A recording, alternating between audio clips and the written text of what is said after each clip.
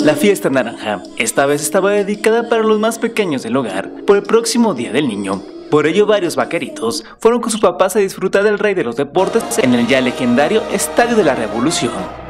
Y aunque la tarde-noche de este domingo 25 de abril se apuntaba prometedora para los vaqueros Laguna, en el cierre de la serie ante los zaraperos de Saltillo, la pizarra dio la voltereta en los últimos episodios.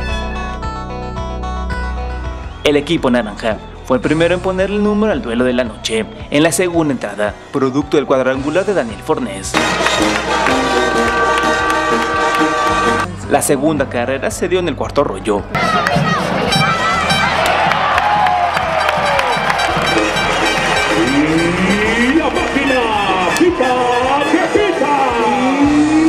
Pero los de Saltillo empezaron a despertar en la sexta entrada y la vuelta de tuerca se dio en el séptimo y octavo inning, consiguiendo siete carreras. Y aunque Vaquero le puso emoción al noveno episodio, marcando cuatro carreras, esto fue insuficiente, logrando que Saltillo se llevara a la serie de 2 a 1.